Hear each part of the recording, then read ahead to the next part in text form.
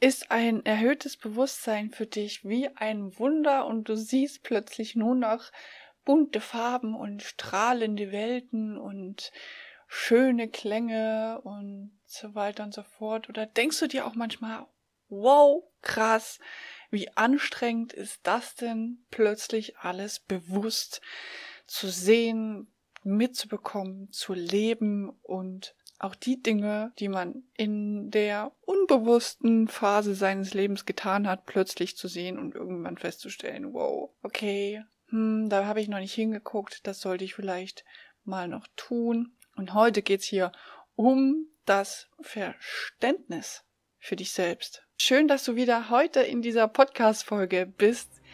Die Welt ist verrückt. Herzlich willkommen im erhöhten Bewusstsein.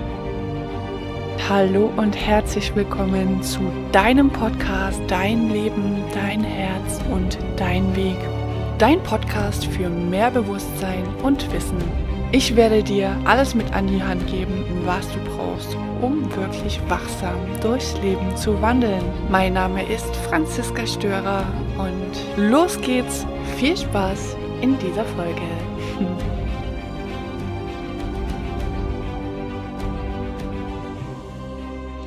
Ja, und es ist einfach mega genial, dass die Welt verrückt ist. Nämlich, dass du endlich klar siehst, was eigentlich wirklich so abgeht auf dieser Welt.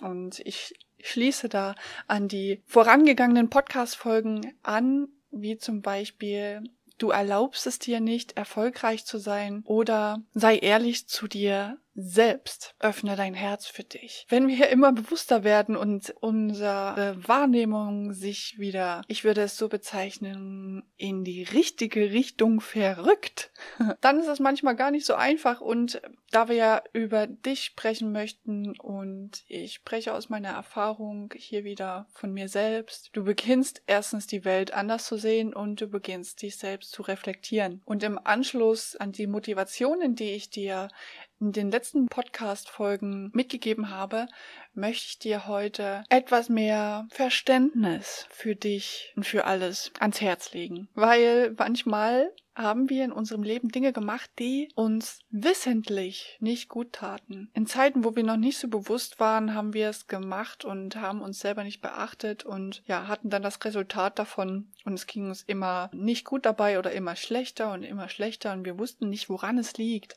Aber mittlerweile wissen wir ja, wenn wir Dinge tun, die uns nicht gut tun, dann haben wir irgendwann das Resultat davon und wir wollen ja was daran ändern. Also fangen wir an, uns zu reflektieren, reflektieren so die Situationen, dann reflektieren wir vielleicht die letzten Monate, Jahre und unser ganzes Leben, sogar zurück bis in die Kindheit. Soweit will ich heute nicht gehen, denn es geht vielmehr um die Dinge, die wir getan haben, die uns nicht gut getan haben. Aber wir wussten trotzdem davon. Da macht man Dinge, weil man einfach nicht hinschauen will. Man lässt einfach Dinge hinten hinterfallen, lässt die so laufen, weil es ist bequem, es ist bekannt. Ähm, man hat einfach Angst hinzuschauen. Resultate daraus sind dann vielleicht wirklich Dinge, die noch unschöner sind, als die Dinge wirklich anzuschauen. Hier möchte ich dir heute aus tiefstem Herzen mal mitgeben, hab Verständnis für dich und verzeihe dir selbst. Fühl in dein Herz, vielleicht stellst du dir die Situation vor, wo du immer wieder gemerkt hast, unterbewusst,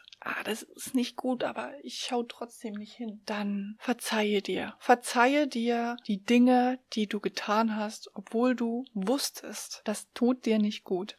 Obwohl du wusstest, für deine Klarheit musst du die Dinge anschauen. Umso bewusster wir werden, umso mehr wissen wir ja auch, die Dinge erfüllen sich dementsprechend, wie wir handeln und wie wir fühlen. Und unsere Gefühle sind nach unseren Gedanken die, die uns Erfüllung bringen. Alles wird erfüllt. Eigentlich ist das Unterbewusstsein, sind die Gefühle einfach so genial. Alles wird erfüllt, was wir fühlen. Wir beeinflussen so unsere Realität. Wir sind echt Künstler darin, Dinge in Schubladen zu schieben, weil wir sie nicht sehen wollen. Das haben wir wirklich jahrelang gelernt und wirklich perfektioniert, so dass es immer und immer wieder auch auf einem bewussten Weg passiert, dass es auffällt, dass man Dinge ganz weit weggeschoben hat und so weit, dass man wirklich merkt, okay, Mist. Ich habe sogar vergessen, dass es das gab. Und dann kommen so Situationen, wo du dich dann dabei erwischst und denkst dir, Mist. Ich hab's genau gewusst. Ich hab's genau gewusst. Ich hab nur nicht hingeschaut. Ich habe mit Absicht weggesehen, habe mit Absicht andere Dinge gemacht, hab geglaubt, das erledigt sich vielleicht von selbst. Hier kommen wir wieder an den Punkt. Wir sind selbst für uns verantwortlich. Wir müssen wirklich für uns handeln. Wir müssen unser Leben in die Hand nehmen. Und es ist einfach schön. Es ist ja einfach so schön zu sehen, dass wir selbst unser Leben in der Hand haben. Sind wir doch einmal wirklich dankbar dafür, dass das Leben uns immer wieder zu in Situationen führt, die aufploppen, weil wir vielleicht auch nicht hinschauen wollten und das Leben wirklich so konsequent ist und weiß genau, wenn wir die Dinge nicht anschauen, dann können wir auch nicht befreit leben. Also sei hier an dem Punkt einfach mutig. Schau hin und geh die Sachen an und immer wieder hab Verständnis für dich. Umso schneller kommst du einfach voran. Meine Erfahrung. Und dann die Möglichkeit dazu haben, endlich in die Klarheit zu kommen. Und natürlich immer wieder in Verbindung mit dem Verständnis zu dir selbst, mit dir selbst und dir selbst zu verzeihen. Ich erzähle dir jetzt, äh, was ich gerade für eine Serie gucke. Hat überhaupt nichts mit Spiritualität zu tun, aber hat auch mega viele Reminder für mich gehabt. es hat nämlich was mit Frauen zu tun, die gerade im Gefängnis sind. Die zum Beispiel haben nicht die Möglichkeit, gerade das zu tun, was sie erfüllt. Etwas aus ihrem Leben zu machen, was sie beeinflussen können in dem Moment, weil es wurde schon über sie geurteilt und sie haben es wirklich nicht so in der Hand. Und da denke ich mir wieder, ich lieg hier gerade eingekuschelt auf meiner Couch, habe wirklich alles, wirklich alles in der Hand, um mein Leben zu regeln. Ich habe alles in der Hand, um mir das zu erschaffen, was ich mir wünsche. Einfach nach dem zu leben, was mich erfüllt. Wenn man wieder so wach wird und solche Reminder auch dankend annimmt und bewusst annimmt und bewusst sieht, was einem das Leben da sagen möchte, dann hast du wieder die Chance, was zu ändern und dein Leben wieder in die Hand zu nehmen. Das verrückte Leben, was du jetzt gerade lebst, ist einfach so spannend. Und es ist verrückt, weil wir es unser Leben lang anders kennengelernt haben. Und ich finde, es ist wie ein Experiment, was wir jetzt hier als Mensch auf dieser Erde erleben dürfen. Es ist neu und wir beginnen jetzt gerade herauszufinden, wie alles funktioniert, wie wir das Bewusstsein Bewusstsein kollektiv auch erhöhen können. Und es ist manchmal gar nicht so leicht, hinterherzukommen hier als Mensch in diesem Körper und mit diesen ganzen Gefühlen klarzukommen und das Bewusstsein so zu erhöhen, dass man auch wirklich den Verstand immer wieder dazu einlädt, mitzukommen und auch den Körper dazu einlädt, mitzukommen, denn es ist alles ein Ganzes. Und ich möchte dir hier heute wirklich das Wort Verständnis mitgeben. Verständnis dafür, dass andere eben anders leben, dass eben du auch Dinge getan hast, die nicht richtig waren für dich. Und Verständnis dafür, dass alles nicht sofort, sofort so sein wird, wie manche es vorleben oder, naja, zumindest so tun, als ob es so wäre. Ich mag den Einspruch von dieser hm, bekannten Zeitung, wo ich jetzt hier keine Werbung für machen möchte. Bild dir deine eigene Meinung, bild dir deine eigene Welt, schaff dir deine eigene Wahrheit. Umso bewusster man wird, umso weniger legt man eben auch Wert darauf, was andere denken und sagen und man wird immer selbstbewusster und ruhiger im Leben. Aber der einzige Mensch, mit dem du klarkommen musst, bist du selbst.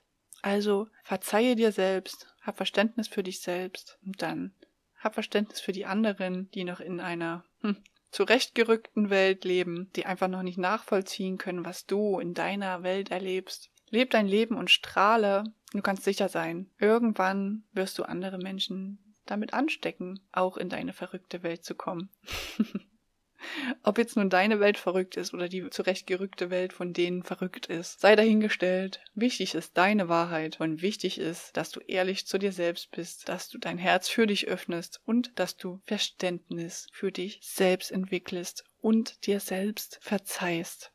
Fühl dich in dich rein, fühl dich in dein Herz rein und verzeihe dir selbst. Ne? An dieser Stelle noch eine kleine Hilfestellung. Super simpel. Wenn du in eine Situation kommst, die du dir selber kreiert hast, logisch, die dir aber jetzt irgendwie nicht passt, dann weißt du ja schon, weil du reflektierst, warum das Ganze passiert ist. Geh dahin und gehe bewusst hin und sage, ich verzeihe mir selbst. Und tu das so oft, bis es dir gut tut.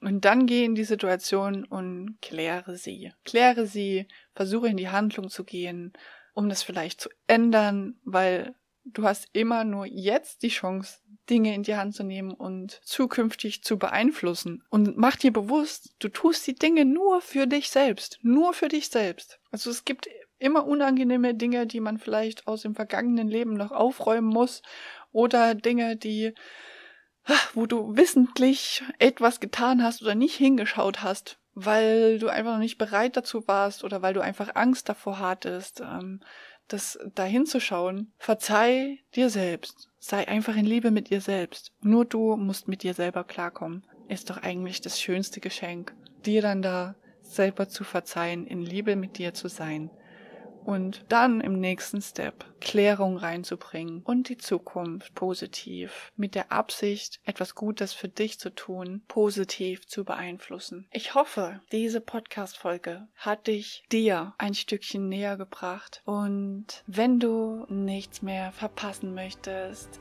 oder dir ein Impuls ganz besonders gefallen hat oder du einen Impuls für mich hast oder eine Frage an mich hast, die ich gerne auch im Podcast beantworte, dann schreib mir einfach oder lass mir ein Abo da. Und ich freue mich, wenn du wieder ein bisschen mehr dein Herz für dich selbst öffnen konntest und dich damit noch besser entfalten kannst. Denn du weißt, was ich dir immer und immer wieder wünsche. Von Herzen pure Entfaltung für dich. Deine Franziska.